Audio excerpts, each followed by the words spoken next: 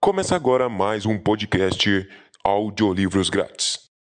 Antes de tudo, quero dizer que o audiolivro não substitui a experiência de um livro físico, simplesmente complementa a sua experiência. Por isso, acesse o primeiro link da descrição e compre já o seu livro. Incentive você também esse podcast. Entre em contato conosco pelo e-mail da descrição ou faça uma transferência pelo QR Code ou pelo PicPay. Agora, vamos para o audiolivro. Capa: Um sonho no caroço do abacate. Autor Moacir Ciliar. Contracapa: Tempo de poesia. Deixa que eu conto. Um sonho no caroço de abacate. Sonho de uma noite de verão. A chance de saber mais. O mundo parece ser feito apenas de coisas que a gente vê nele, mas há outras que não vemos, embora existam. São as coisas que lemos. Elas estão escondidas no meio das letras. É preciso ler para que elas apareçam diretamente em nossas cabeças. Se não lemos, todas essas coisas que estão guardadas nos livros não aparecem para nós. Quem não lê só vê uma parte das coisas do mundo. Não consegue conhecer tudo.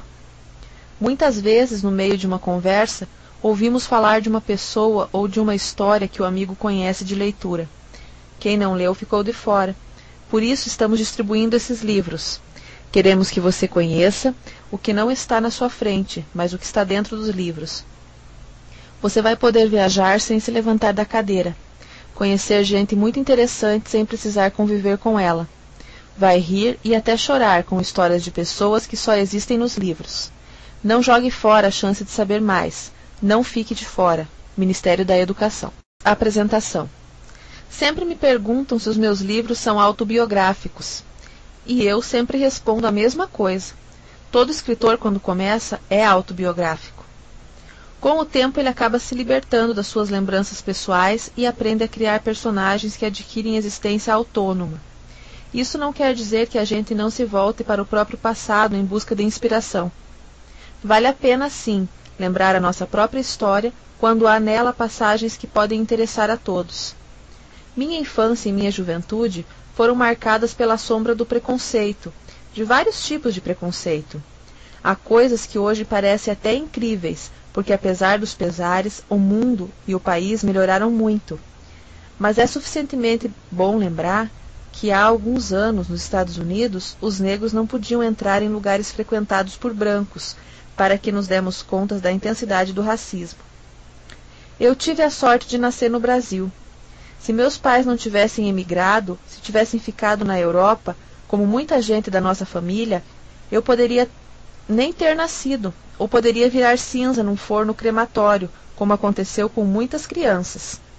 Escapei desse destino e por isso sou grato ao nosso país, que, no entanto, está, não está totalmente livre da intolerância. Desde pequeno, eu sabia que por ser judeu eu era diferente. Fui ofendido algumas vezes. Meti-me também em brigas, bati, apanhei. Felizmente não passou disto.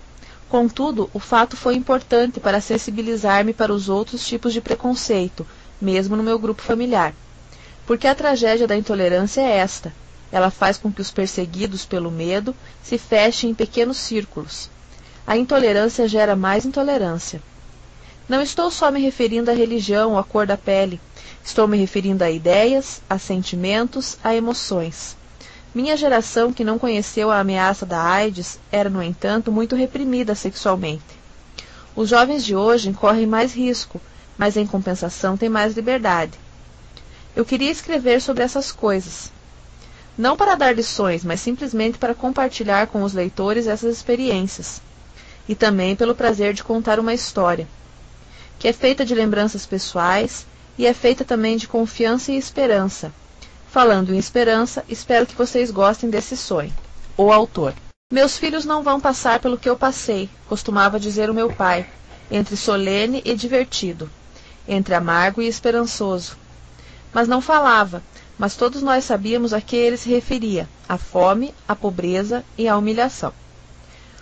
Como muitos outros, meus pais judeus lituanos tinham emigrado para o Brasil em busca de uma vida melhor.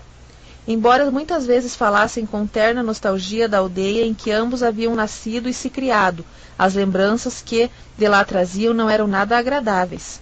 gente pobre. Eles haviam passado necessidade. Meu pai lembrava um inverno rigoroso no qual todas as refeições do dia se resumiam em três batatas, muitas vezes podres. Ainda havia a ameaça dos tanques dos antissemitas, que periodicamente invadiam a aldeia, surrando, ferindo e às vezes até matando os judeus. Tudo isso eles suportaram. Quando, porém, Hitler ascendeu ao poder, meu pai começou a achar que era hora de partir. Não conseguiu vencer, convencer os irmãos, eram sete, todos mais velhos que ele, muito menos os pais. Isto vai passar, diziam. Hitler não é o primeiro maluco que chega ao poder. Fala muito, mas não cumprirá suas ameaças. Depois de muita discussão, meu pai e minha mãe, recém-casados, decidiram partirem sozinhos. Se acontece alguma coisa, e tinham certeza de que alguma coisa haveria de acontecer, teriam condições de receber os parentes na América. Emigrar foi bem difícil, mais difícil do que imaginavam. Os países relutavam muito em receber judeus. Finalmente, meu pai conseguiu, milagrosamente, como diria depois. Vistos para um país do qual pouco sabia, o Brasil. Minha mãe não tinha a menor ideia de onde ficava esse lugar e achava que era habitada por índios. Meu pai, porém, mostrou-lhe fotos de grandes cidades. Disse que ali havia muitas oportunidades. Mas o que convenceu mesmo minha mãe foram o açúcar e as frutas. Açúcar para eles era uma coisa rara e cara. Vinha em cubinhos com os quais adoçavam o chá, mas não colocavam um cubinho no chá, não. Seguravam-no entre os dentes e iam tomando o líquido, que ia dissolvendo o açúcar pouco a pouco. Dessa forma durava mais. Quanto às frutas, minha mãe simplesmente adorava, mas eram ainda muito caras, mais caras do que o açúcar. De vez em quando, num dia de festa, compravam uma laranja, dividiam-na e cada um saboreava lentamente o seu gomo. Uma vez convidaram o rabino da aldeia vizinha para um almoço. A sobremesa era uma laranja, dividida da forma habitual. Só que o santo homem, ignorando ou fingindo ignorar que deveria ser compartilhada, comeu toda, deixando a família sem sobremesa. Com a banana era a mesma coisa. Cortavam-na em fatias, e cada um comia uma fatia. O sonho da minha mãe, porém, era abacate. Existia na Europa, claro, mas era tão caro que ela jamais experimentou. O que excitava-lhe ainda mais a imaginação devia ser um manjar divino, o abacate, coisas para reis e rainhas. Quando meu pai disse que essas coisas todas no Brasil eram extremamente comuns, minha mãe ficou maravilhada. É verdade? perguntava com os olhos brilhando. É verdade que a gente pode comer laranja até matar à vontade? É verdade. E banana? Banana, meu pai riu. Banana é a coisa que até pobre come, às dúzias. E minha mãe mal ousava levantar a dúvida. Abacate. Abacate dá para gente como nós comprar? Isso meu pai não sabia, mas por via das dúvidas resolveu optar por uma resposta positiva e encorajadora. Na pior das hipóteses, seria uma mentira piedosa que Deus sem dúvida perdoaria. Claro, se você achar que o abacate não é bastante doce, pode colocar açúcar. É coisa que não falta lá. Com o que minha mãe se convenceu. Saíram assim, por dizer, na última hora, em agosto de 1939, um mês depois que começava a Segunda Guerra. Tanto os familiares do meu pai como os da minha mãe morreram em campos de concentração. A viagem foi terrível. Eles viajavam no porão de um cargueiro, amontoados com dezenas de outros emigrantes. Grávida, minha mãe tinha que aguentar o enjoo da viagem. Vomitava sem cessar, mas nesse duro transe sustentava uma visão mágica: o abacate. Quando chegamos lá, dizia ela e meu pai, a primeira coisa que você vai fazer é comprar um abacate. Não tenha dúvida, dizia meu pai, ele mesmo passando mal, será a primeira coisa a fazer. Finalmente chegaram ao Porto de Santos e minha mãe tornou a pedir. Queria o seu abacate. Tão logo passaram pela imigração, meu pai saiu no encalço da sonhada fruta. Não falava uma palavra em português, não tinha uma moeda do país, só uns dólares, mas entrou numa frutaria e conseguiu entender-se com o dono, saindo de lá com um enorme abacate, que levou a minha mãe. Ela se atirou à fruta e comeu-a com casca e tudo, só deixou o caroço diante do olhar assombrado do meu pai. Era boa? perguntou quando ela terminou. Mais ou menos. Foi a desolada resposta. Pelo visto, as coisas no novo país não seriam fáceis como pareciam. De Santos seguiram para São Paulo, onde meu pai tinha amigos. Eram pobres também, mas os acolheram, durante uns vinte meses. O casal dividiu um quartinho com mais quatro pessoas. Meu pai, que tinha facilidade para idiomas, logo aprendeu umas palavras em português e começou a trabalhar vendendo gravatas pela rua. Que deduzo das fotos que guardou, as gravatas eram medonhas, mas ele não tardou a descobrir que para vendê-las tinha que se colocar estrategicamente em lugar onde as pessoas precisavam entrar com tal acessório, nas portas de bancos, de repartições e à noite, sim, porque no dia começava às sete da manhã e só terminava de madrugada, à frente dos teatros. Quem ia atrás de um empréstimo bancário, ou tinha que falar com um chefe da repartição, ou decidia de repente assistir uma peça de teatro, Todas essas pessoas encontravam no meu pai um vendedor solícito e pronto para dar sugestões. Compre essa, vai melhor com sua camisa. Sempre dava certo. Uma vez um homem saiu tão contente de um banco, conseguiram um excelente financiamento. Segundo ele, graças à gravata, que deu a meu pai uma enorme gorjeta a título de agradecimento. O mais engraçado é que meu pai nunca usou gravata. Vendia, sim, mas não usa, ousava colocá-las. Um homem baixinho e feio como eu só desmoralizava uma gravata, diz ele, suspirando. Eu não posso desmoralizar o meu ganha-pão. Vender nas ruas não era uma ocupação sem perigo. Uma vez ele foi assaltado. Entregou o dinheiro, mas não as gravatas. Outra vez foi atropelado por um ciclista. Minha mãe se inquietava, de modo que logo ele pôde que ele pôde comprou uma lojinha no Bom Retiro. Agora já não vendia só gravatas, mas também cuecas, meias, camisas, à vista, a prazo, de qualquer jeito. Minha mãe ajudava na loja e tomava conta da casinha que tinha alugado. Fazia milagres no orçamento doméstico. As sobras de comida, por exemplo, eram sistematicamente reaproveitadas. Havia coisas que não comprava, como lençóis. Minha mãe ia à padaria, ganhava de presente sacos de farinha, desmanchava-os, costurando vários fazia lençol. Branco eles eram, mas tinham também um logotipo do moinho que fabricava farinha. O que, segundo minha mãe, mulher bem-humorada, era o que equivalia a uma grife. Com muito sacrifício, criaram os filhos. Éramos quatro, dois rapazes e duas meninas. Eu era o segundo, meu irmão mais velho, Davi, dado, era uma fonte de desgosto permanente. Não quis estudar, jogava, se meteu com más companhias, foi até preso. Desde pequeno era rebelde. Aquele, constatou meu pai, não era o filho que realizava os seus sonhos, de modo que tornei-me o depositário de suas esperanças. Esperanças que ameaçavam também se frustrar. Eu era um péssimo aluno. Não que me faltasse inteligência, ao contrário. Segundo todos os professores da pequena escola judaica em que eu frequentava, frequentava em termos, porque em matéria de faltar aulas poucos me batiam. Eu era brilhante, mas gostava muito mais de andar pelo centro da cidade olhando as lojas. Isso é difícil de acreditar, mas é verdade. Indo à biblioteca, eu não gostava de estudar, não gostava de cumprir obrigações, não gostava de ler. Aos 15 anos já tinha devorado todo o Monteiro Lobato, todo o Jorge Amado, todo o Robert Louis Stevenson, mas ameaçado repetir de ano. Meu pai não sabia o que fazer, brigava comigo todos os dias, chamava-me de vagabundo, de irresponsável, dizia que eu estava seguindo o rumo do meu irmão e acabaria me tornando um marginal como ele. Eu retrucava que ele não tinha nada de se meter na minha vida se quisesse que me mandasse embora de casa. Minha mãe tentava acalmar os ânimos, minhas irmãs pequenas choravam. Era um pandemônio. Chega de barulho, gritavam os vizinhos. Meu pai achou que estava na hora de terminar com aquilo mas não sabia o que fazer. Foi então falar com seu França. Seu França era o gerente do banco em que meu pai descontava as duplicatas e fazia empréstimos. Era um homem de idade e tido por seus clientes como um sábio.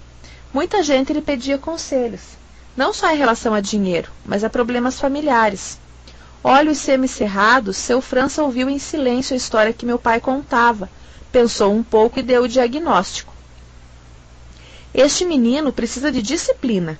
Sugeriu que meu pai me colocasse num colégio de padre, do padre Juvencio. O padre Juvencio era famoso justamente por isso, pela disciplina. Seus alunos, não muitos, A seleção era rigorosa. Obtinham as melhores notas nos vestibulares. De lá tinham saído empresários, profissionais liberais, políticos famosos. Era um colégio caro e era um colégio católico. Normalmente, isso teria sido suficiente para fazer meu pai desistir, mas ele, não, ele estava tão desesperado que confiava tanto no seu França que decidiu pelo menos tentar. Voltando para casa, anunciou que iria mudar de colégio. Minha mãe, quando soube do que se tratava do colégio do padre Juvencio, teve um ataque. Meu pai não era um homem religioso, mas ela vinha de uma família de rabinos e não podia suportar seu filho num colégio goi, não judaico. Porque goi, para minha mãe, era sinônimo de malignidade. Tendo vivido sempre nos restritos círculos da convivência judaica e tendo passado por terríveis experiências, ela desconfiava de todos os estranhos, que imaginava passavam os dias maquinando meios de perseguir e exterminar judeus. Seu desespero, ainda que explicável, era impressionante. Você quer me matar? gritava. Você me trouxe da Lituânia para me matar aqui? Bandido! Você é pior do que os nazistas. Correu para a cozinha, pegou uma faca, felizmente não muito afiada, e disse: Eu me mato. Ajudado pelos vizinhos, meu pai conseguiu a custo contê-la. Levaram-na para o quarto, onde ela ficou chorando. Voltando para casa, eu soube do que tinha acontecido e tive um ataque de fúria. Não iria para o padre Juvencio de maneira alguma. Preferia abandonar os estudos. Até meu irmão, que nem convivia com os judeus, me apoiou. Mas meu pai mostrou-se inflexível, o que era surpreendente naquele homenzinho em geral cordato. O seu França tinha falado. O seu França sabia o que dizia. Não errava nunca. Eu iria para o padre Juvencio. Meu pai me acompanhou no primeiro dia de aula. Insisti para que ele não fosse, aquilo só iria me complicar, mas ele insistiu. Provavelmente estava com sentimentos de culpa, e como todas as pessoas culpadas, queria fazer algo para se redimir. Fomos. O colégio do Padre Juvencio, o Juva, como era conhecido entre os seus alunos, ficava em Higienópolis, entre antigas mansões. Colégio quase centenário, funcionava num prédio maciço, cinzento, reformado várias vezes, ficando feio a cada reforma. Entramos, passamos pelo grande pátio. Vários, gru vários grupos de rapazes ali. O colégio era exclusivamente masculino. Todos nos olhando. Eu morria de vergonha. Foi um alívio chegar à secretaria onde nos recebeu o padre Otero. Ele era o responsável por minha turma, a 71. De imediato gostei daquele homem baixinho, troncudo, energético, mas simpático. Senti que tinha nele um aliado e não me enganava. Tão logo meu pai se foi, ele se voltou para mim. Antes de você ir para a aula, tenho uma coisa para lhe dizer. Hesitou um instante e continuou. Não sei se você sabe, mas você é o primeiro israelita a cursar este colégio, desde que ele foi fundado. Isto vai lhe causar problemas. Aliás, discutimos muito na direção por causa de você.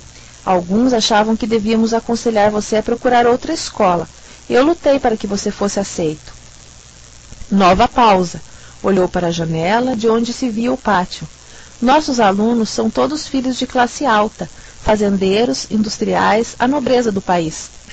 Está na hora de a gente abrir o colégio. Foi o que disse na reunião da direção.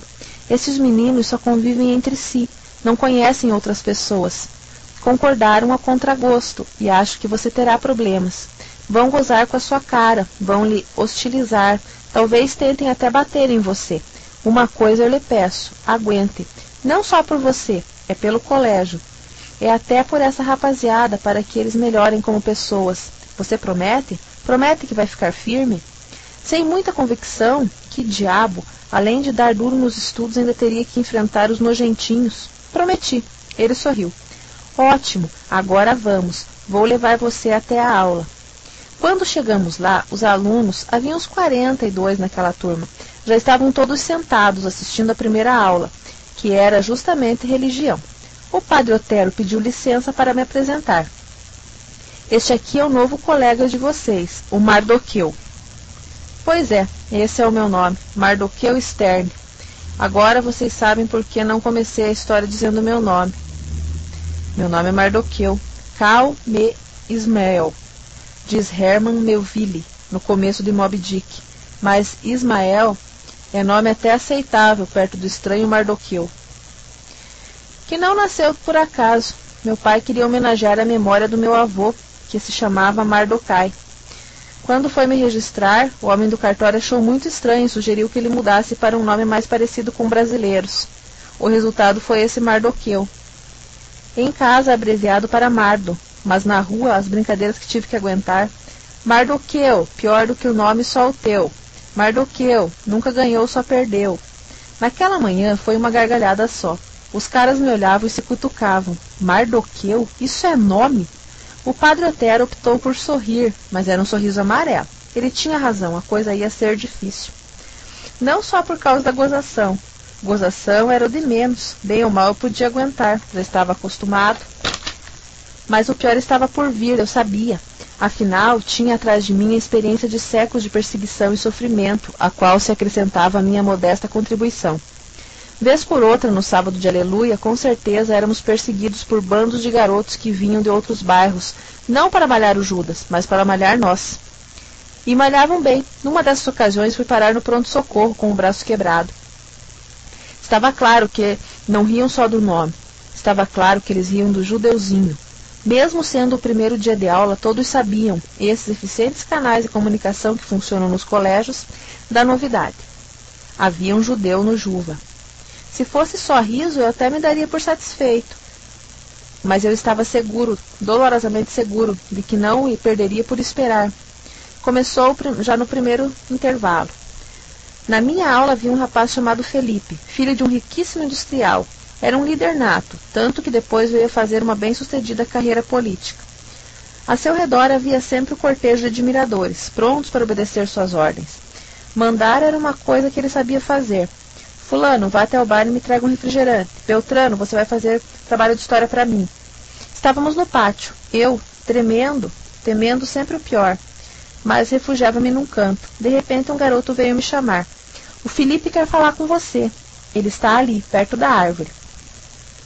A árvore era o lugar onde habitualmente ficava, rodeado da corte, dando ordens, submetendo seus comandos a pesados gracejos que despertavam imediatas gargalhadas. Fui. Por quê? Na escola do Bom Retiro eu nunca obedeci ninguém, nem mesmo os professores, muito menos os professores. Mas ali no Juva, fora no meu território, eu me senti intimidado, desamparado, acovardado. Fui. O Felipe era um rapaz bonito, rosto de artista de cinema, cabelos ondeados, muito bem penteados, corpo de atleta, praticava vários esportes, era campeão juvenil de esgrima, baixinho, mais baixo até do que eu, Nunca fui alto, mas isso não se notava, tão aristocrático era o seu porte. Olhou-me de cima embaixo, em silêncio. Finalmente sentenciou. Não queremos judeus nesse colégio. Você tem uma semana para desaparecer. Se não, fez um gesto significativo. Vamos te capar. Os amigos riram de deliciados. Antes que eu pudesse dizer qualquer coisa, antes que alguém pudesse dizer qualquer coisa, a campainha soou. Voltamos para a aula mas não é preciso nem dizer que eu não consegui prestar atenção em mais nada. Para onde me voltasse, via olhares ameaçadores ou debochados, ou ambos. Quando finalmente as aulas terminaram, corri para casa. Normalmente o que eu faria? Entraria em casa como um tufão. Apontaria um dedo acusador para o meu pai, gritando: Você é um idiota, você só arranja confusão. Ao invés, corri para o quarto, tranquei a porta, me atirei na cama e chorei. Chorei como há muito tempo não chorava. Meus pais, inquietos, batiam à porta. Abra, Mardo, abra! Achavam que eu estava doente, e num certo sentido estavam certos. Eu estava mesmo doente. Minha cabeça chamava-se medo. Minha doença chamava-se vergonha. Minha doença chamava-se raiva. Raiva sim. Eu estava com medo, eu estava com vergonha, mas estava principalmente com raiva. Foi a raiva que me deu forças. Foi a raiva que me fez ficar de pé, enxugar as lágrimas e decidir voltar à luta. Vou à luta. Se eles pensam que vão me ganhar no grito, estão muito enganados. Podem me, me capar, mas não vão, vão ter que me matar primeiro. Respirei fundo, abri a porta. Meu pai e minha mãe estavam ali alarmados. O que aconteceu? perguntou meu pai. Nada, respondi. Não aconteceu nada. Não insistiu. No fundo, sabia o que tinha passado. Como agente de sua aldeia, que fingia ignorar o nazismo. Não se deve falar no diabo para que ele não apareça. Ele optava por fechar os olhos. O que me deu pena Pobre homem, dominado por seus terrores, a única coisa que o sustentava era a esperança de uma vida melhor para os filhos. Não, eu não poderia partilhar meu sofrimento com ele, nem com a minha mãe, ou com meus irmãos, ou com meus amigos do bairro. Eu tinha de enfrentar aquilo sozinho, e eu enfrentaria. Na manhã seguinte, quando cheguei ao colégio, encontrei Felipe e seu grupo no atrário de entrada. Seguramente estava me esperando, porque um deles, uma iniciativa para agradar o chefe, barrou-me no caminho. Você ainda está aqui, judeu? O Felipe não disse para você desaparecer? Eu não vou desaparecer, respondi, irritado com o temor da minha voz. Merda, eu não podia pelo menos fingir coragem? Vocês vão ter que me aturar, e agora faça favor de sair da minha frente. Ele não saiu e eu o empurrei. Perdeu momentaneamente o equilíbrio, mas logo em seguida se recuperou e veio para cima de mim como uma bala. Ah, judeuzinho de bosta, eu mostro a você. Antes que nos atracássemos, porém, a campainha, bendita campainha, pelo jeito que fora instalada para me salvar. Soou. O Bedel apareceu. Que história é essa? Parem já com essa briga. Entrem, senão eu chamo o diretor. De momento eu estava salvo, mas a guerra agora estava declarada. Não seria uma guerra aberta, para não porque não interessava ao astuto Felipe. Ele sabia que o padre Otero me defendia. Por outro lado, não queria me transformar numa vítima, num mártir. Não, ele acabaria comigo de outro jeito. Partiu para o terror. Depois daquele dia, cada vez que eu voltava do intervalo, encontrava meus livros rasgados, meus cadernos riscados. Uma vez colocaram uma lagartixa na minha pasta, outra vez um camundongo. Nas aulas de educação física, era quase certo de que alguém, por acidente, esbarraria em mim me derrubando. No futebol, minhas canelas eram alvo predileto. Passei a jogar como goleiro. Mais uma vez fui chutado quando, agarrando a bola, caía no chão. Não adiantou mudar para o basquete. No jump recebia cotoveladas que quase me quebravam as costelas. Mas eu resistia. Eu cerrava os dentes e resistia. Não só isso, como surpreendentemente comecei a me tornar um bom aluno. Não faltava mais às aulas, estudava sem parar, caprichava nos trabalhos. Para a satisfação do meu pai, que, ignorando o que se passava, atribuía tudo ao efeito mágico da disciplina. Você viu? Ele dizia triunfante à minha mãe. Você viu como eu tinha razão? Ela não respondia. Talvez desconfiasse de alguma coisa, mas como não tinha sido vencida na disputa com meu pai, permanecia em silêncio ofendida. Enquanto isso, eu ia progredindo. Minhas notas eram melhores, os professores me elogiavam. Até mesmo o de religião. Eu sabia tudo sobre o Novo Testamento, o que deixava Felipe possesso. Sua fúria chegou ao auge com o um concurso de desenho. Era uma tradição do Juva, uma homenagem ao padre Juvencio, que tinha sido excelente ilustrador de livros infantis. Todos os anos havia um concurso de desenho. Os melhores trabalhos eram expostos no salão nobre. O primeiro lugar ganhava um troféu. Desenhar era uma coisa que eu sabia fazer bem e eu tinha muita vontade de ganhar o concurso. Seria uma humilhação para os meus inimigos. O tema me perturbava contudo. Cristo na cruz. Bem, mas o que eu queria? Jeová criando o mundo? Não, resolveria. Eu não era muito chegado à divindade judaica, distante, misteriosa, imprevisível e que, ademais, não admitia ser retratada. Desenhar Cristo não me seria fácil. No Bom Retiro, Jesus era uma figura pouco presente, mas ali no colégio fazia parte do cotidiano. Para mim, no penoso cotidiano, constantemente eu era lembrado de que meus antepassados tinham acusado Cristo, que meus antepassados tinham pedido a morte de Cristo. Uma culpa que insensivelmente eu ia assumindo, ampliando. Eu era o réu. Eu tinha vendido Jesus por trinta moedas. Eu tinha conduzido preso. Eu havia crucificado. Aqueles imensos cravos que fixavam na cruz, eu os pregara, manejando a marreta com cruel diligência. A dor terrível que se sentira, o ferro lhe transfixava na carne, essa dor fora eu quem lhe infligia. Não adiantava fingir inocência. Cada vez que em aula se falava de morte de Cristo, os olhos acusadores voltavam-se para mim. Foi você, judeu mardo, foi você quem matou o divino mestre. Você queria se livrar dele porque preferia a usura à verdadeira fé. Forno crematório era pouco para os meus crimes. Eu tinha que queimar para sempre nas chamas do inferno, onde meu lugar estava reservado, o próprio diabo me esperando, impaciente. Como eu poderia desenhar o rosto de Cristo? Como poderia me atrever a tanto? O chão, sem dúvida, se abriria aos meus pés, o teto cairia sobre a minha cabeça. Eu brincava com isso, mas no fundo eu tinha medo. O milenar terror que herdava dos meus antepassados. Foi, contudo, a astúcia também milenar desses antepassados que me ajudou a resolver o dilema. Um dia em casa, olhando para o álbum da família, e não deve ter sido por acaso que eu fui procurar o tal álbum, ocorreu-me a solução. Eu desenharia Cristo, sim, mas usando como modelo uma foto do meu avô quando era jovem. A barba e olhar melancólico tornavam-no muito parecido com Jesus. Trabalhei dias e noites, mas o resultado me deixou satisfeito. Cristo e meu avô. A síntese perfeita estava ali. Ganhei o concurso.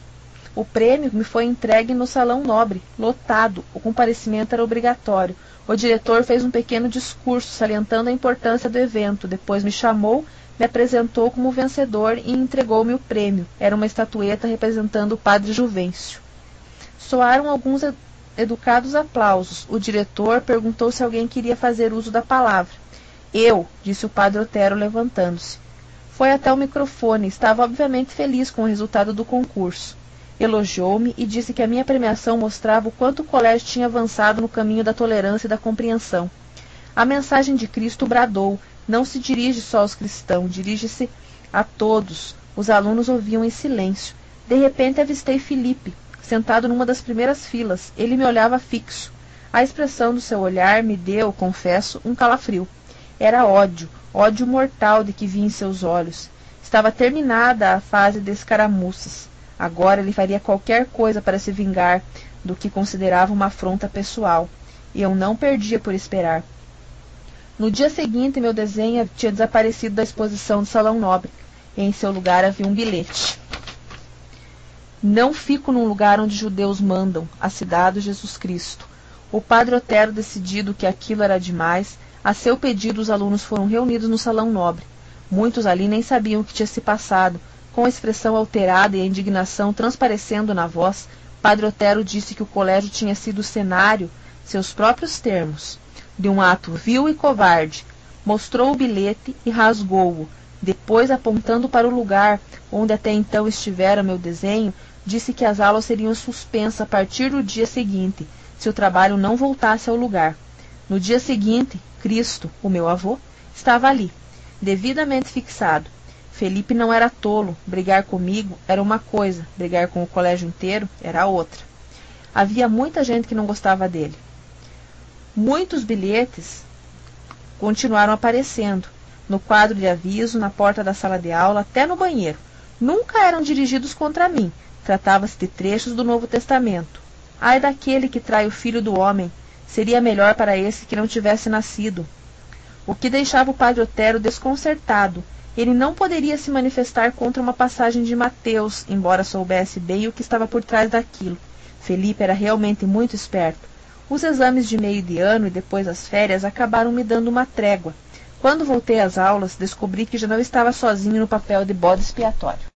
Havia um garoto novo na aula. Chamava-se Carlos. Era negro e usava óculos. Como eu, Carlos fora admitido graças ao padre Otelo. O pai dele, consultor jurídico de uma grande estatal, tinha sido transferido de Salvador para São Paulo era um homem que ganhava bem e queria colocar o filho num bom colégio, mas encontrava dificuldades por razões óbvias. Chegara ao Juva sem muita esperança. Por acaso o padre Otero estava na secretaria no dia em que o doutor Antônio viera em busca de uma vaga. Na realidade não havia lugar para o garoto, mas mexendo daqui, mexendo dali, o padre deu um jeito. E lá estava o Carlos. A mim chamava a atenção não só o fato dele ser negro, como de usar óculos. Tínhamos um jogo na minha infância, colecionávamos finais de placa de automóvel. Começávamos pelo 1 e tínhamos que chegar até o 100. Um torneio de absoluta confiança. Valia a palavra do colecionador. Que, em contrapartida, tinha que aceitar uma estranha penalidade se avistasse um negro de óculos. Era obrigado a começar de novo. Por que um negro de óculos? Por que eram raros? Por que eram tão raros? Ora, porque eram pobres, porque não podiam, não liam. Mas disso eu só daria conta mais tarde. Quando Carlos entrou na aula, a única lembrança que me ocorreu foi a do jogo infantil. Mal podia imaginar que a curta visão do rapaz desempenharia um papel tão importante na minha vida. Como tinha feito comigo, o padre Otero veio apresentá-lo à turma. Nesse momento olhei para Felipe. Sua expressão agora não era de ódio, mas de frio desprezo. Viu murmurar qualquer coisa ao ouvido de um dos seus amigos. Não era difícil adivinhar o que tinha dito. Esse colégio está cada vez pior, até negros aceitam. Carlos não começava, portanto, sobre o melhor dos signos. Outros problemas viriam juntar-se a, de início, surda aminosidade. Ele tinha dificuldades em acompanhar o puxado curso. O Colégio Salvador não lhe dera muita base. Sentava-se ao meu lado. Por acaso? Não tão por acaso. De modo que eu podia constatar seu esforço. Ele fazia para entender explicações dos professores. Era um menino magro, franzino, cuja expressão de permanente sofrimento antecipava sempre uma tragédia, que acabou acontecendo. Foi na prova de história. O professor era o padre Atanásio, conhecido como ralador. Exigia que soubéssemos de minúsculos detalhes, datas de todas as batalhas, nomes completos de todos os personagens. A prova constava de cinquenta perguntas dificílimas. Estávamos ali, quebrando a cabeça, quando de repente levantou-se o Pedro, conhecido como Pedro Cacete, porque cada três palavras que usava, uma era cacete. A minha bicicleta é o cacete, conheci a menina do cacete, e apontou para Carlos. Padre Atanásio, olha ali o cara colando. Feito o que, sentou-se de imediato, voltou-se para Felipe, de cuja turma fazia parte. O chefe sorriu aprovada, aprovou.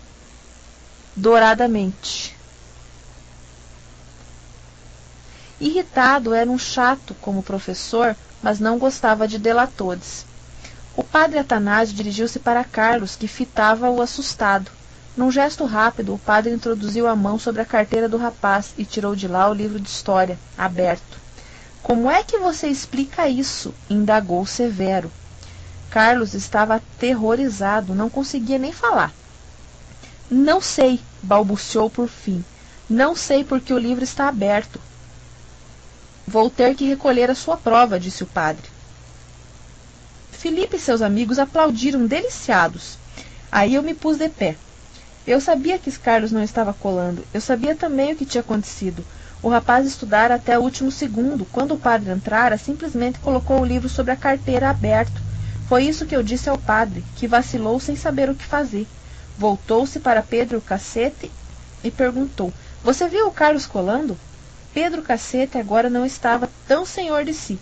Seguramente queria agradar Felipe, e há muito outros ali, humilhando publicamente o negro, mas não tinha cara de pau suficiente para sustentar a acusação. Acho que vi, gaguejou. Acha? O padre insistiu. Acha ou tem certeza? Fez-se um pesado silêncio. Pedro Cacete estava tão tenso que até suava. Não, disse por fim, não tenho certeza sentou-se arrasado, e não faltaram vaias para estudar sua derrota. A hostilidade de Filipe e seus comandados estava longe da unanimidade. A partir daquele dia ficamos amigos, Carlos e eu. Não foi só um incidente que nos uniu, foi a consciência de pertencermos ambos à categoria dos perseguidos. E vinha bem na hora aquela amizade, porque eu andava um bocado sozinho. No Bom Retiro já não tinha mais a turma, era considerado a ovelha desgarrada, não faltava quem me considerasse traidor. O mesmo valia para meu pai, quem os amigos censuravam. Você não devia fazer isso com seu filho. Até fregueses ele tinha perdido por causa disso. Mas o homem teimoso permanecia firme em sua decisão.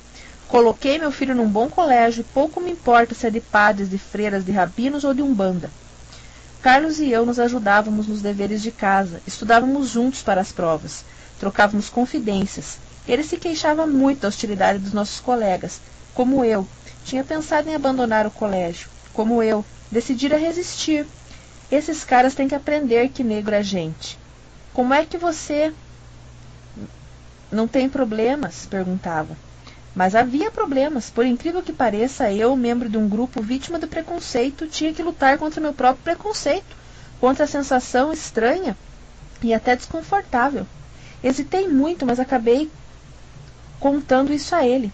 Não se zangou, ao contrário. Se você tivesse me dito que nunca notou a minha cor de pele, eu não ia acreditar em você. Você é honesto comigo, Mardo, disse os olhos úmidos, e eu te agradeço. Um dia convidou-me para ir almoçar em sua casa. Aceitei o convite, o que mudaria a minha vida. A família morava num apartamento em Pinheiros, edifício antigo, mas bem conservado. O apartamento era grande e todo decorado com objetos do folclore baiano, estatuetas, quadros e até uma foto impressionante mostrando uma moça em transe. Sua gente é do candomblé? perguntei. Carlos sorriu. Não, meu pai não acredita nisso. Acha que é superstição. Mas como gosta do folclore, trouxe essas coisas. O pai e a mãe estavam no living, o pai lendo o jornal e a mãe tricotando. Carlos me apresentou. Esse é o amigo de quem falei a vocês, o Mardo. Grato por ele não ter mencionado o meu nome, senti-me imedi imediatamente à vontade. O pai, doutor Antônio, era um homem alto, forte, de rosto enérgico, ainda que agradável. Como o filho usava óculos, aliás, a mãe também. Para os colecionadores de números de Bom Retiro, a família seria um desastre. Convidaram-me a sentar, ofereceram-me refrigerantes. Eu estava meio intimidado, mas eram pessoas tão agradáveis, sabiam como se pôr um visitante à vontade. A conversa girou sobre amenidades. Perguntaram-me se eu conhecia Salvador. Eu disse que não. Doutor Antônio apanhou um livro sobre a cidade mostrou-me fotos. Isso aqui é o Pelourinho. Essa é a igreja do Bonfim. Você precisa conhecer Salvador, dizia Carlos, entusiasmado. Você vai ver que lugar espetacular. Estava feliz por ter vindo um sentimento compartilhado pelos pais. O fato de Carlos ter um amigo, evidentemente, aliava às repreensões deles quanto ao colégio. O pai mostrava-se particularmente satisfeito. Falou muito, lembrou dos tempos de estudante, contou histórias engraçadas. Lá pelas tantas olhou o relógio. Desse jeito, Luísa, o nosso convidado vai morrer de fome. Vamos almoçar? Ela pediu que esperássemos um pouco, faltava Ana Lúcia. Da irmã de dois anos mais velha que ele, Carlos não tinha me falado muito mesmo porque eu não perguntei. Por alguma razão não tinha curiosidade em conhecê-la. Mas quando a porta se abriu, é ela, disse a mãe. Agora podemos almoçar. Fiquei galvanizado. Era linda. Oh, meu Deus, como era linda Ana Luísa, Ana Lúcia. Tipo mignon, rosto belíssimo, corpo sensacional.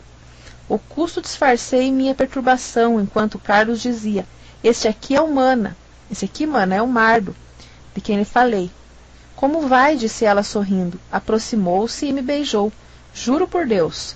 Qualquer Deus, do Antigo, do Novo Testamento, do Novíssimo, que eu quase desmaiei.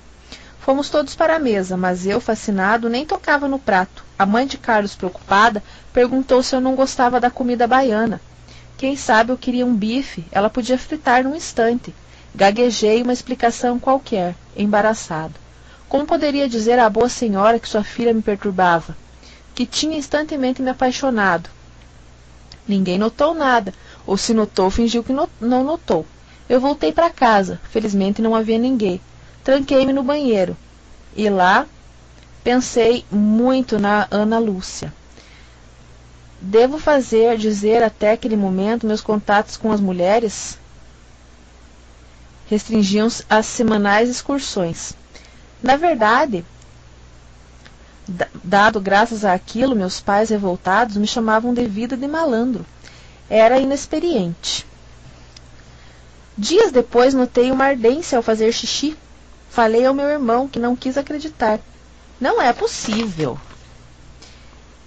Mas não se preocupe, eu sei como resolver o problema. Levou até a farmácia do centro e tentou me explicar o caso em voz baixa ao velho farmacêutico. Nem numa farmácia a gente está protegido. A história terminou bem, apesar dos, mo dos modos bruscos. O antibiótico que nos vendeu me curou rapidamente. Contudo, que eu estava traumatizado, não traumatizado, eu estava decepcionado. Contudo, depois de um certo tempo, aquela rotina já não me satisfazia. Eu queria me apaixonar, eu queria ir, sim, com a mulher dos meus sonhos. E quem era a mulher dos meus sonhos? Bom, não tinha aparecido. Não faltavam garotos no Bom Retiro. Várias me lançavam olhares significativos. Feio eu não era. Agora, porém, eu estava apaixonado, irremediavelmente apaixonado. Terminando o almoço, ficamos todos sentados no living. Doutor Antônio despediu-se estava na hora de voltar para o escritório. A mãe foi descansar e ficamos ali os três conversando. Conversando é modo de dizer, só o Carlos falava. Ana Lúcia era quieta, sorria apenas, ouvindo as engraçadas histórias do irmão. Seu sorriso, Deus, iluminava a sala. Simplesmente não podia tirar os olhos dela. O que é que vai fazer sábado à noite? perguntou Carlos quando levantei-me para ir embora. Eu não tinha programa algum, mas mesmo que tivesse, renunciaria a qualquer coisa, se fosse para sair com Ana Lúcia. E era. A gente vai ao cinema, quer ir junto? Claro que eu quero. Então, ela se levantou e disse que teria que ir para o colégio, beijou-me de novo e se foi. Quando voltei para casa naquele dia, ia saltando e cantando pelas ruas, as pessoas me olhando como se eu estivesse maluco. E estava, maluco de paixão.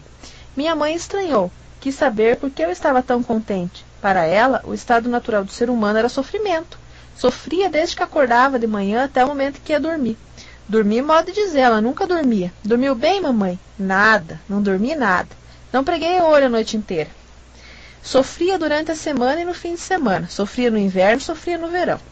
A imagem que eu tinha dela na minha infância é essa: pano amarrado na cabeça, se queixando de enxaqueca, mas varrendo a casa ou lavando o prato. Sofria, mas não se entregava. Eu não podia dizer à minha mãe que estava apaixonado. Paixão era uma experiência desconhecida para ela. Sabia do que se tratava, claro, via na novela, na TV, todos os dias, mas era um ritual sagrado e derramava abundantes lágrimas. Tinha bem clara a diferença entre novela e vida real galãs e mocinhas apaixonados só na TV. O cotidiano de pratos a lavar, o chão a varrer. Se eu falasse o que estava sentindo, da emoção que me invadia, ela me julgava doente e me levaria ao doutor, que escutava com paciência as queixas da mãe, das mães do Bom Retiro. Com meu pai a mesma coisa. Ele e minha mãe se amavam, mas à maneira deles. Não podiam passar um sem o outro, mas jamais dariam vazão às suas emoções. Quanto ao meu irmão, imediatamente perguntaria, olhos brilhando, sorriso safado. Foi para minha mãe, para minha irmã de seis anos, Ruth, que eu contei o que se passava. Estou apaixonado. Ela quis saber quando que era a festa do casamento, se havia bolo de chocolate. Quando eu disse que ainda não estava pensando no assunto, ela se desinteressou. Isso foi na quinta-feira. Eu comecei a contar horas que se paravam da noite de sábado, as horas, os minutos. Cumprimentamos-nos timidamente. Eu, claro, já tinha comprado ingressos. Entramos. Carlos, que enxergava mal, queria sentar na frente, ao passo que preferia as fileiras de trás. Então vocês dois fiquem atrás e eu vou para frente. Sentamos. Que calor, eu disse. Nem estava calor, mas eu tinha que dizer alguma coisa. Saquei o pacote de balas e ofereci-lhe. Ela serviu-se de uma, colocou a um instante de encontro aos lábios. Ai, como invejei a bala! Que tal o filme era? Já não lembro. O que sei é que vinte minutos depois do início da série Complicadas Manobras. Primeiro passei o braço por trás do encosto da sua cadeira, um gesto que provocou um resmungo impaciente do homem sentado atrás de nós. O encosto era mental, frio contato, pouco romântico, mas a sensação não importava. A sensação que eu tinha é que eu estava a abraçando. O braço foi subindo pelo encosto lentamente. Quando eu digo lentamente, é lentamente. Lentidão capaz de fazer um caracol parecer um campeão de corrida. O que acontecia se eu a abraçasse? Como reagiria? Como saberia de um amigo que tentava uma investida semelhante a receber um tapa na cara? Ana Lúcia não tinha jeito de quem ia me esbofetear, mas se fosse tomada de uma súbita e sangrossanta indignação. De repente, se pusesse de pé gritando transtornada, caia fora, judeuzinho sem vergonha. Não, não, não, não. Não foi isso que ela fez. Quando nossas peles finalmente se tocaram, o calor dela subitamente me invadiu, se apossando de mim. Ela continuou imóvel. Não até se aconchegou a mim. Ou pelo menos foi essa a impressão que eu tive. De qualquer jeito, até ali tudo bem. Estava indo tudo bem. Desencadeei então para a operação Pega-Mão. Minha mão esquerda e ela a minha mão direita. Começou a avançar em direção ao meu braço. De novo a progressão lentíssima. Felizmente tratava-se de um filme de longa metragem e eu tinha tempo. Finalmente, a polpa dos meus dedos tocou o seu braço, que não se afastou. Minha mão desceu e isso já era uma carícia ao longo do braço. Chegou ao antebraço. Tínhamos nos tornado namorados. Fazemos parte da imensa cadeia de apaixonados que desde o começo dos tempos se sucede sobre a face da terra. Ela me olhou, eu a olhei. As luzes se acenderam e ficamos ali sentados lado a lado. Carlos apareceu. E então, gostaram do filme? Muito, ela disse, e riu. Eu ri também. Carlos nos olhou surpreso. Naquele momento, não sabia ainda o que estava acontecendo, mas é claro, já desconfiava. Aliás, naquela mesma noite, Ana Lúcia lhe contou. Eram muito próximos os dois, não tinham segredos. De início ele ficou contente, mas logo em seguida teve que confessar sua apreensão. Vocês vão ter que brigar muito para manter esse namoro. Não deu outra, como se pode imaginar. Um jovem judeu do Bom Retiro e uma jovem mulata baiana. Não é um par que deixe de chamar atenção. Mas nós nada víamos de estranho um no outro. A cor da pele? Há coisas que os olhos apaixonados não veem, e aquela era uma dessas. Do mesmo modo, ela não via em mim um membro de um grupo estranho, muito menos descendente de usurários ou de matadores de Cristo. Eu era um mardo. Aliás, ela conseguia um milagre me transformar esse medíocre apelido numa palavra de som doce e melodioso. Mas de eu nunca me chamou, felizmente. Passeávamos pela cidade de mãos dadas. Íamos tomar sorvete, ficávamos conversando até tarde. Sobre o que falávamos? Sobre tudo. Ela me contava sobre Salvador, as praias, o carnaval, o trio elétrico, Jorge Amado. Adoro os livros dele. Tenho vários, todos autografados. Muitas vezes falei com ele. E com o Caíme. E uma porção de gente. Comparado com a Bahia, o Bom Retiro não podia ser um cenário muito esplendoroso mas ela me fazia perguntas, queria saber como era uma comunidade judaica. Minha vizinha, vizinha dizia que os judeus têm parte com o demônio. E eu tenho? Não sei. Ela ria. Mas se você tem, quero ter também. Pensou um pouco e acrescentou: Se a gente por acaso casar, eu me convirto ao judaísmo, se você quiser, é claro. Casar? Bem, ainda era uma coisa distante. Havia um longo caminho a percorrer, longo e difícil. Um domingo tomamos o ônibus e fomos à Praia Grande. Fazia tempo que eu não pegava sol e gostava ma mais do que de costume. O contraste com o corpo dela era ainda mais visível. Então tivemos a primeira evidência de que, ao contrário do que diz o provérbio, nem todos amam o que se amam. Estávamos caminhando na praia quando um homem que estava sentado à areia conversando com os amigos levantou-se e veio ao nosso encontro. Estava bêbado. O andar era vacilante. Ele mal se mantinha sobre as pernas, mas o olhar que lançou estava cheio de ódio e rancor. Branco como mulata, que história é essa? gritou numa voz pastosa e arrastada. Hein? Que história é essa? Deixa disso, gritavam os amigos. Volte para cá. Você não tem nada a ver com esse assunto. Como não tem a ver com esse assunto?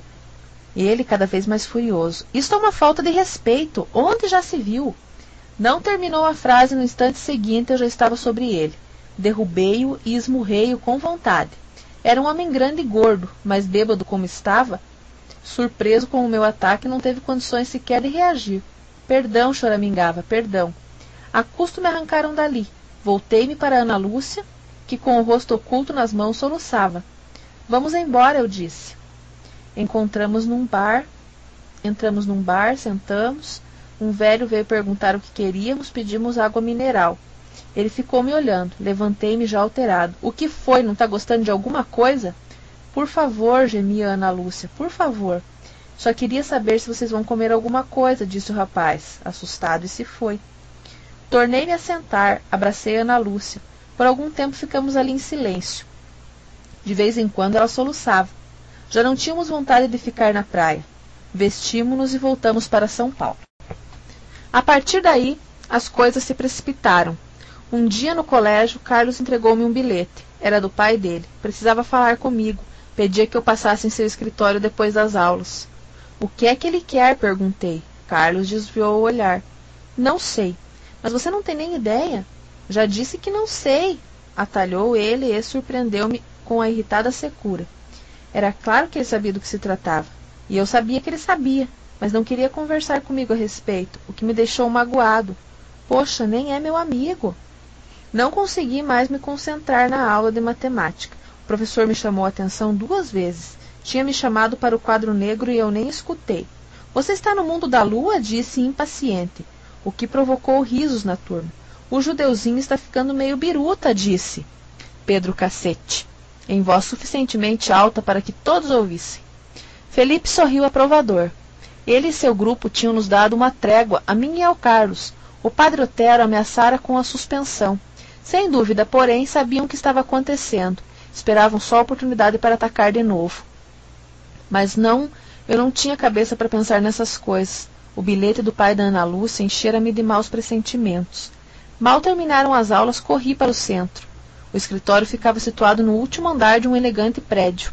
Na recepção, uma secretária me atendeu, comunicou-se pelo interfone com o doutor Antônio. Ele veio até a porta e me recebeu cordialmente, mas sem efusão. Fez-me fez entrar em sua sala, grande e bem decorada, mandou-se que eu sentasse. Fiquei ali, vendo-o dar as ordens pelo telefone. Sem dúvida era importante ele. Quando finalmente terminou, chamou a secretária e disse que não queria ser interrompido. Voltou-se para mim. Venha, vamos sentar aqui no sofá. Perguntou-me sobre os estudos, disse que estava muito satisfeito pelo fato de Carlos e eu trabalharmos juntos. Eu também estava. Estudava com um colega. Isso desde primário. Era mais que um amigo, era o meu irmão. Hesitou um instante. Era judeu como você. Fiquei surpreso. Judeus de Salvador? Riu. A sua gente anda por toda parte, você não sabia? A propósito, tinha chegado o momento, ele estava visivelmente embaraçado, quanto a mim, agoniado. É o termo de, de que descreve melhor a minha ansiedade, mas o doutor Antônio era um homem de ir direto ao assunto, e direto ao assunto ele foi. Escute, Mardo, sei que você e Ana Luísa estão namorando. Antes de mais nada, quero deixar uma coisa bem clara. Eu gosto de você, diria que gosto muito de você como um filho. É, como um filho. Fico contente com os meus filhos, que sejam amigos. Agora, essa história de namoro, agarrou-me pelo braço, me olhou bem nos olhos. Acredite, isso não vai dar certo. Eu não duvido dos sentimentos de vocês, mas sou mais velho e tenho experiência de vida. Aos olhos de todos, você será sempre um branco e ela uma mulata. E vocês vão sofrer muito por causa disso. Há muito preconceito nesse país, Mardo. Não parece, mas é verdade. Você sabe disso. Ana Lúcia me contou o que aconteceu na praia. Pois bem, isso é brincadeira perto do que vocês ainda vão enfrentar. As piadinhas de mau gosto, as ofensas, o isolamento. Meu conselho é que vocês terminem o namoro antes que se transforme numa coisa séria. Vocês são jovens ainda, logo esquecerão. Não me queira mal pelo que estou dizendo, é para seu bem e para o bem dela. Calou-se por algum tempo, o silêncio reinou na sala, um silêncio incômodo, opressivo. O que é que você me diz? O que é que eu poderia dizer? Muito bem, doutor Antônio, estou de acordo, vou terminar o namoro? Não. Eu amava Ana Lúcia e não deixaria por nada do mundo. Nem precisei dar essa resposta. Ele adivinhou, suspirou, sorriu. Está bem, de qualquer modo estaremos do lado de vocês. Levantou-se, me levantei também. Estendeu-me a mão que eu apertei com força. Sem dizer mais nada, eu fui embora. Foi penoso o encontro mas pior ainda estava por vir. Cheguei em casa no fim da tarde. Meu pai estava ali, o que me surpreendeu. Ele costumava vir da loja bem mais tarde, e minha mãe também. Os dois sentados na sala de visitas, os dois com cara de fúnebre, o que não antecipava nada de bom. Onde estão as meninas? perguntei, em parte porque queria saber. Aquelas horas elas também estavam por ali brincando ou vendo TV, e em parte para romper o silêncio tumular. Estão na vizinha, foi seca a resposta do meu pai. Não adianta indagar por meu irmão, há três dias não dava caras. Sente, disse meu pai, mal conseguindo disfarçar o tremor da voz. Vou tomar banho. Depois. Depois você toma banho. Agora sente, queremos falar com você. Sentei. Imaginei que iam me perguntar que história era aquela de andar com uma mulata, se eu não tinha juízo e etc. Mas não, não diziam nada. Não se olhavam entre si, não me olhavam. Era uma coisa surrealista. Se eu tivesse vendo aquela cena num filme, certamente pensaria em comédia. Mas não era filme. Infelizmente, não era filme. O tempo passava. O silêncio era só quebrado pelo ruído dos carros que passavam na rua e pelo tic-tac do grande relógio de pêndulo. Uma das primeiras coisas que eles tinham comprado no Brasil e que, por alguma obscura razão, era tão considerado símbolo de status. Finalmente minha mãe falou. Sua voz tremia ainda mais que a do meu pai. Os meus pais morreram num campo de concentração, ela disse. Meus pais, minhas irmãs, todos morreram num campo de concentração. Pausa. Muitos morreram em campos de concentração, continuou ela. Muitos foram queimados nas fogueiras da Inquisição. Outros foram perseguidos, humilhados. De novo se calou. Mexi-me na cadeira inquieto. Escute, mamãe, quem sabe a gente. Ela pôs-se de pé, completamente fora de si. Os goin, os goin nos perseguem. Os goin nos atacam. Os goin não nos deixam em paz. Ó oh Deus, fazia tempo que ela não falava nisso, nos inimigos que havia em toda parte, os goin. E agora voltou-se lentamente para mim. O meu filho, o meu próprio filho, carne da minha carne, sangue do meu sangue, quer abandonar sua gente e juntar-se aos goin. Ergueu os olhos para o teto. Mas por que, meu Deus? O que fiz para merecer esse castigo? Eu não fui por acaso uma boa mãe? Não cuidei desse filho? Não lhe dei de comer? Não passei noites em claro junto à cama dele quando estava com pneumonia e o doutor disse que ele precisava de muita atenção? Hein, Jesus? Eu não fiz tudo o que uma boa mãe deve fazer? Responda a Deus. Se eu errei, diga onde que eu errei. Sem levar muita fé naquela tentativa de comunicação com altas esferas, o meu pai correu para ela. Por favor, Ida. Ela repeliu-o, furiosa. Por favor, nada, não me toque você. Você pensa que é inocente? É isso que você pensa. Que você não tem nada a ver com o que está acontecendo? Rio teatral. Ela pensa, ele pensa que me engana. Ele vem com seus por favor, Ida. Pensa que me engana. Quem é que colocou o rapaz no colégio de Góis? Hein? Quem foi que fez isso? Fui eu? Responda, fui eu? Ida, meu, Ida, meu pai não sabia o que fazer. Não. Ela saboreando o amargo triunfo. Eu não fiz isso. Podem me acusar de qualquer crime, menos desse. Eu queria que meu filho cursasse a escola judaica aqui no Bom Retiro. Queria que ele aprendesse nossa religião e nossas tradições. Muito bem. Ele não era um bom aluno, ele era indisciplinado, mas e daí? Por causa disso, precisava tirar dele a escola, uma boa escola, e colocar naquela juva, buba, juba, sei lá, Precisava tirá-lo nos braços do Gusgoin? Ah, mas é esperto esse daí. Muito esperto. Tão esperto que ficou milionário. É dono de uma cadeia de loja, vocês sabiam?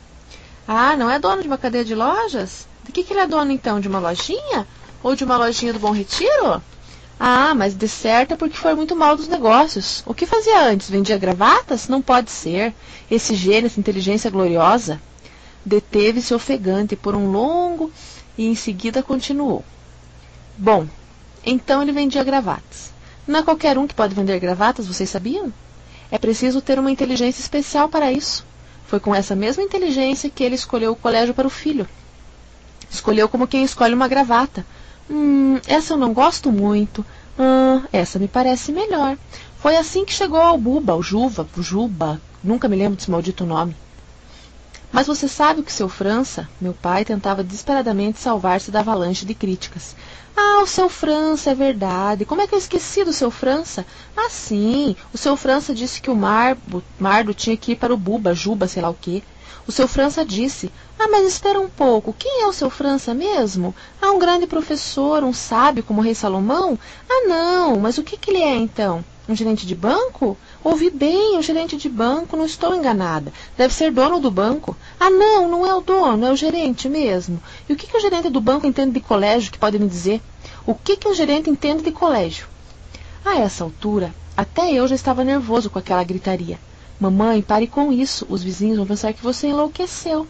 Olhou-me com um deliciado doloroso espanto. Ah, os vizinhos vão pensar isso. Mas não é de admirar que eles pensem, né? Sabe por quê? Porque eu enlouqueci mesmo. Eu não entendo mais nada. Sabe o que, é nada? É nada. Eu não entendo mais nada. Não entendo porque seu pai tinha que ouvir o seu França. Não entendo porque ele tinha que tirar você da escola e colocar você lá no Buba, no Juba.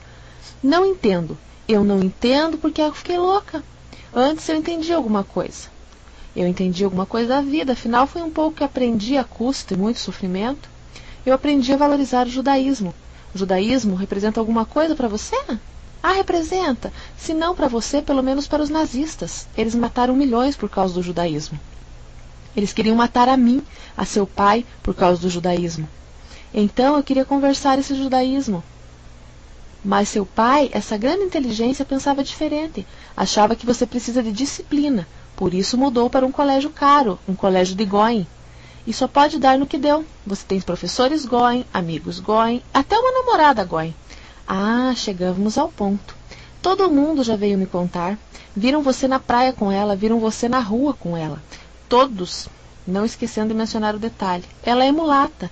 Mulata, oh meu Deus. Deixou-se cair numa poltrona soluçando. Ajoelhei-me diante dela. Mamãe, pelo amor de Deus. Ergueu a cabeça como se tivesse sido atacada por uma serpente. Deus? Não fale em Deus. Você não é digno de falar em Deus. Você renegou o nosso Deus. Oh, meu Deus, uma mulata. Já não bastava ser não tinha que ser mulata? Olhou-nos. Já sei. Deve estar achando que eu sou racista. Pois eu não sou racista, fique sabendo. Não sou racista. Adoro a Teresa, gosto de conversar com ela, considero amiga, irmã. Teresa era a moça da farmácia, uma mulata risonha que aplicava injeções à nossa família. Em matéria de medicamentos, minha mãe só confiava em injetáveis, e em matéria de injeções, só na Teresa. Agora, ela lá e eu aqui. Aliás, é a própria Teresa que diz: a gente deve conhecer o nosso lugar. Isso é o que diz a Teresa, uma moça simples. Ela não é o seu França, nem a maravilha de inteligência que é o meu marido. Ela levou a mão ao peito. Oh, meu Deus, estou me sentindo mal. Como estou me sentindo mal? Aquilo também era previsível. Cada vez que minha mãe se aborrecia, ela passava mal. No começo chamávamos sempre o doutor, e ela dizia que eram os nervos. Mas se um dia não fosse, e fosse um ataque de nervos? Se um dia fosse o coração, era uma ameaça permanente. Meu pai não estava disposto a enfrentar. Vou chamar o médico. Ela deteve-o com um gesto. Não, não precisa, já estou melhor. Não é dessa vez que eu me vou. Talvez vocês quisessem me ver morta, mas talvez terão que esperar um pouquinho mais. Não muito, eu prometo. Se esse aí, apontou-me trêmulo o dedo, continuar namorando a mulata, logo vocês terão um velório para se divertirem. Dirigiu-se vacilante para a porta. Antes de sair, voltou-se. Não digam que eu não avisei. Terão que escolher, ou eu ou a mulata. Saiu batendo a porta. Meu pai voltou-se para mim. Viu que confusão que você arrumou?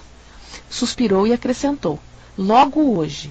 Você não sabe o dia que eu tive. De manhã recebi de volta dois cheques sem fundos. À tarde esteve um fiscal na loja e me multou sei lá por quê. Aí sua mãe me telefona dizendo para voltar urgente para casa. Oh, meu Deus, é um dia que eu gostaria de esquecer. Nesse momento era só o que faltava. Estava chegando meu irmão com cara de quem tinha passado a farra no, dos últimos três dias. Onde é que você esteve? indagou brusco meu pai. Viajando, replicou ele. Uns negócios que eu tenho aí no exterior. Eu conheço seus negócios, replicou meu pai azedando. Os seus negócios eu conheço muito bem. Então não se meta, dado de bom humor. O que houve? O que está todo mundo com cara de velório? Meu pai hesitou, mas acabou contando. Meu irmão ouvia-o deleitado. Era a primeira vez em muito tempo que ele tinha companhia no papel de vilão. Mas optou pela imagem de compreensivo. Ora, papai, deixe o mardo. Se ele gosta da menina, qual o problema? Você e a mamãe estão se exagerando. Meu pai não estava afim de debater o assunto, alegando dor de cabeça, foi para o quarto. Meu irmão voltou-se para mim, deu um sorriso condescentemente. Qual é a sua, mano? Você está agindo com a cabeça?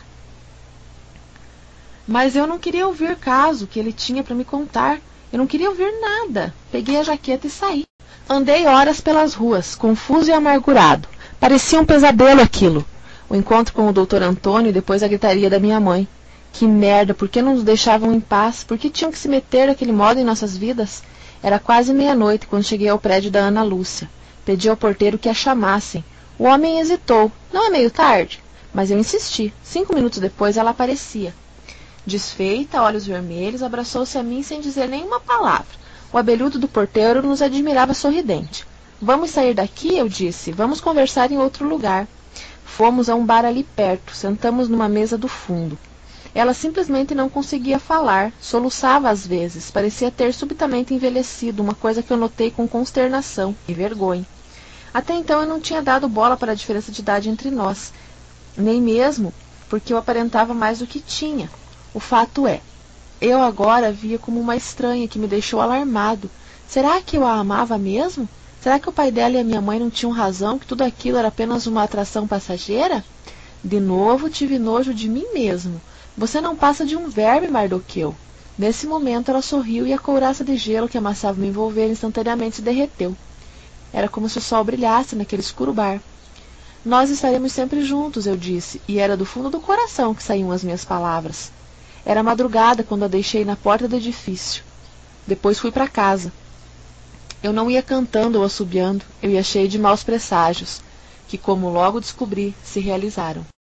Uma surpresa me esperava no colégio. Nova carta de Jesus Cristo. Dessa vez não se tratava de um único exemplar afixado em um lugar visível. Não, centenas de folhetos tinham sido impressos e o bedel, prestativo e sádico ao mesmo tempo, tinha me guardado um. Não posso mais tolerar essa situação, começava a carta e prosseguia. O judeu e o negro se uniram. O judeu defendeu o negro, o negro retribuiu, entregou sua irmã à luxúria do outro. É um pacto, um pacto diabólico. Devem estar tramando a entrada de outros judeus e outros negros. Nosso colégio será tomado por eles, com a cumplicidade do padre Otero. Seguiam-se várias diatribes e a conclusão. Quero que vocês os expulsem, como expulsei os vendilhões do templo, a chicote. Antes do fim do ano, eles têm que estar fora do colégio. Não terminei a leitura, alguém bateu no meu ombro. Sobressaltado, voltei-me, pronto para brigar, mas era o Bedel. O padre Otero disse para você ir até a sala dele. Foi o que eu fiz. O inusitado movimento nos corredores mostrava que todos tinham lido a carta e estavam à espera do que ocorreria. À porta mesmo da sala do padre Otero havia um grupo, gente da minha turma e de outras. Um rapaz que eu conhecia só de vista me pegou pelo braço. Não tenha medo, cara. Tem muita gente aqui de saco cheio com o Felipe e com seus amiguinhos. Se precisar de ajuda, conte conosco. Agradeci e entrei. Carlos já estava ali, falando com o padre Otero. Assustei-me. Habitualmente calmo, ele estava agitadíssimo, com os olhos esbrugalhados, suando abundantemente, embora fosse um dia frio. Padre Otero mandou que eu me sentasse. Carlos de repente se calara, e em silêncio permanecemos por alguns incômodos segundos. Finalmente o Padre Otero levantou-se e abriu os braços. O que posso dizer para vocês? É um horror isso, um horror. Sou professora há 22 anos, vi muita briga entre alunos, mas algo assim eu nunca tinha visto, palavra. Levantou-se e pôs-se a andar de um lado para o outro na, na sala ampla. Parou, voltou-se para nós. Volto a dizer, não percam a calma, nós vamos tomar providências. Sabem quem fez isso? Claro, vamos obter provas. Aí chamaremos os pais. Estamos preparados para expulsar meia dúzia se for o caso. Mas por favor, não reajam, não briguem. Ignorem. Nós vamos brigar por vocês. Olhou o relógio. Agora vá para a aula. No intervalo, não saiam. Eles tentarão provocar vocês para criar uma situação qualquer. Não saiam. A campainha soou.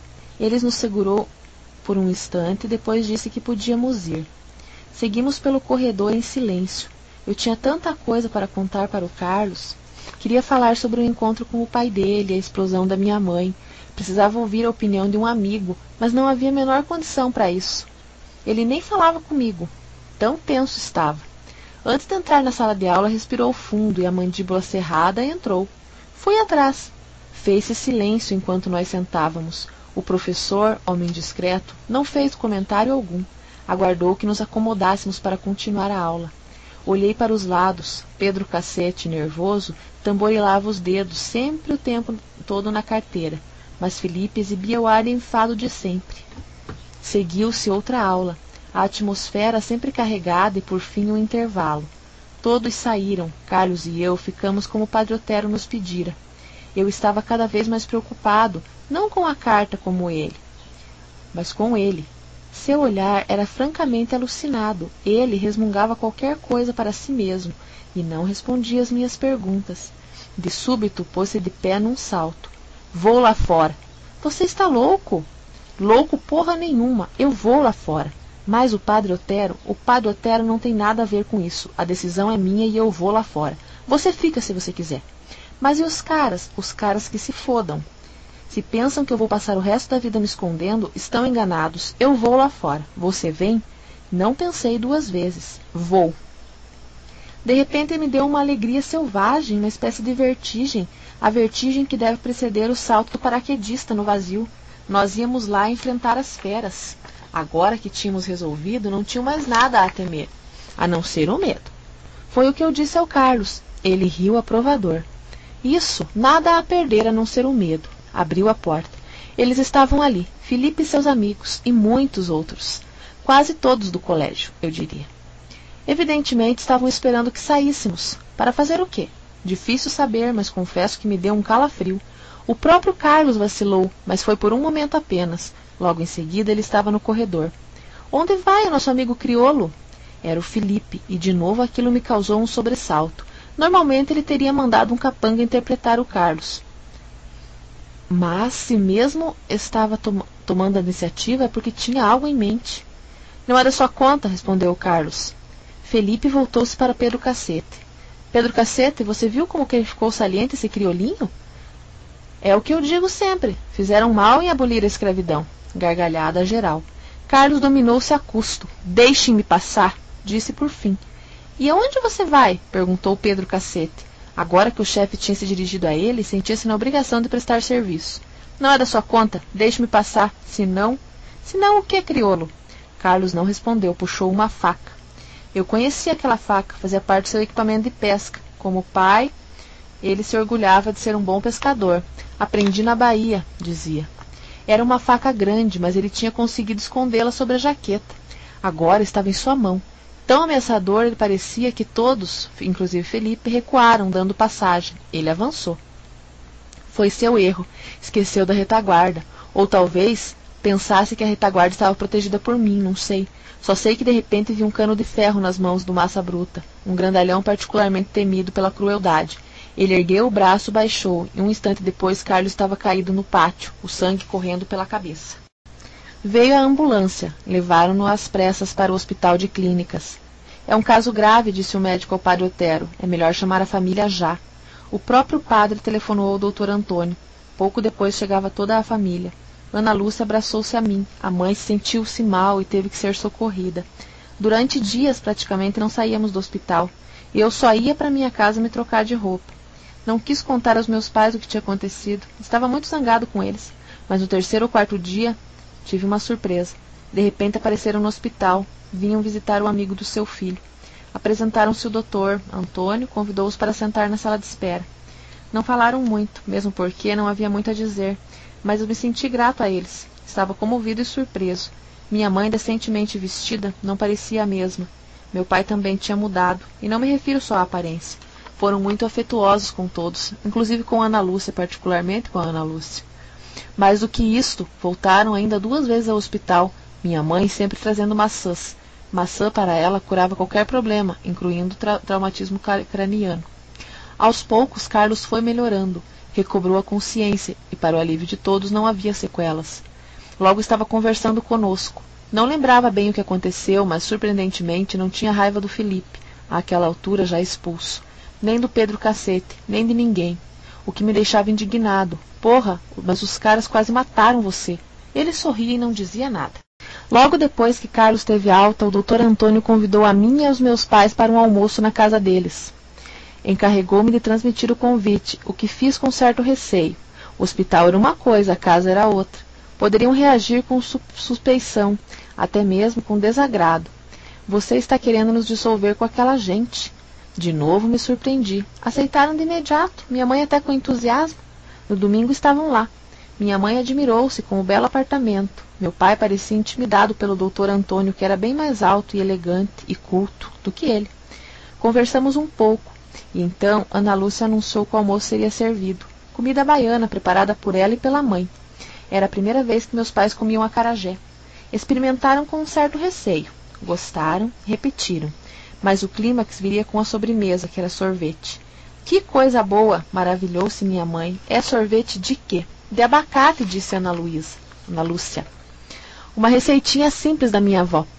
Receitinha simples. Eu nunca comi um sorvete tão delicioso. Nem sabia que se fazia sorvete de abacate.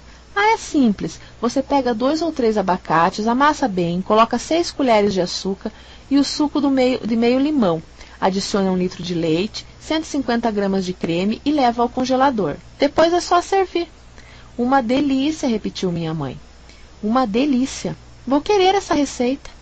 Estava encantada e eu também. Era só uma das poucas amigas que mamãe aceitava a receita. Para ela, tratava-se de um ato de cumplicidade, não apenas de intercâmbio culinário.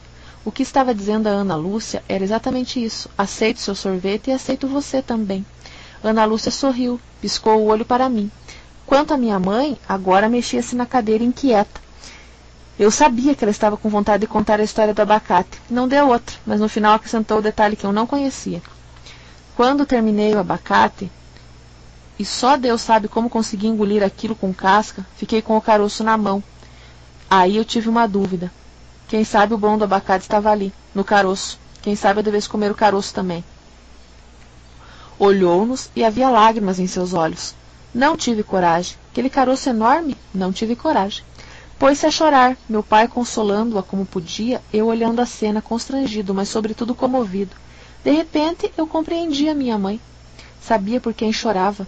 Pelos que tinham morrido nos campos de concentração, pelos que tinham sido perseguidos e humilhados, mas chorava também por si mesma, pelos seus sonhos perdidos, pelo abacate da sua imaginação, que pendia, promissor de alguma árvore, no longínquo território de sua infância. Chorava pelo caroço. O que conteria aquele caroço? Que segredos revelaria a quem comesse? Agora era tarde para saber, por isso ela derramava suas lágrimas. Ana Lúcia, ao lado dela, passou o braço por seus ombros, abraçou-a, e naquele momento eu tive a certeza de que nossa história, diferente de tantas outras, teria um final feliz. E final feliz foi o que teve essa história. Carlos e eu terminávamos o curso no Juva, um colégio que hoje recebe negros, brancos, católicos, judeus, protestantes, budistas, garotas, rapazes. Fizemos ambos o vestibular, ele para direito e eu para arquitetura. Afinal, como eu disse antes, sempre fui bom em desenho. Ana Lúcia e eu nos casamos. Ela não se converteu ao judaísmo porque eu não pedi, mas formada em letras, dedicou-se a estudar a literatura judaica e tornou-se autoridade no assunto. Temos dois filhos, dois excelentes garotos que fazem a alegria da minha mãe. Desde que meu pai faleceu, vem nos visitar sempre. Gosta de cozinhar para nós e sua sobremesa preferida é, claro, sorvete de abacate. Meus filhos não vão passar pelo que eu passei, dizia meu pai, e estava certo. Não tivemos que passar fome, nem fomos ameaçados de extermínio, mas de uma certa maneira eu repeti sua trajetória. Também eu tive que atravessar um oceano, também tive que descobrir um país, que não conhecia, ao qual, se tivesse que dar um nome, chamaria de país dos sonhos improváveis, sonhos que se ocultam no caroço de algum inocente abacate. Moacir Ciliar, 1937, é de Porto Alegre, no extremo sul do Brasil. Descendente de imigrantes judeus russos, sua temática é influenciada pelo judaísmo e pela experiência da imigração, bem como pela visão social resultante de sua experiência como médico de saúde pública. Tem cerca de 30 livros, romance, contos, ensaios, crônicas. Suas principais obras: O Centauro no Jardim, A Estranha Nação de Rafael Mendes, O Exército de um Homem Só e romances. A Ovelha de Van Gogh, contos. Foram publicadas nos Estados Unidos, França, Alemanha, Espanha, Israel e em outros países, despertando a admiração da crítica. É detentor dos seguintes prêmios, entre outros: Prêmio Guimarães Rosa, Prêmio Brasília, Prêmio da Associação Brasileira de Críticos de Arte, Prêmio Casa de las Américas, Prêmio PEN Clube do Brasil. Colabora em vários periódicos da imprensa nacional e estrangeira. Já teve obras adaptadas para cinema, teatro e televisão. Viaja frequentemente ao exterior para conferências e encontros. Seu livro mais recente é O Imaginário Cotidiano. Bibliografia: Um Sonho no Caroço do Abacate, de Moacir Ciliar. Novela publicada na coleção Jovens Inteligentes, sétima edição, São Paulo, Global 2000. Fim do livro. Obrigado por ter escutado até aqui e esperamos que tenha gostado. Então já deixe o seu like e nos siga. Abraço.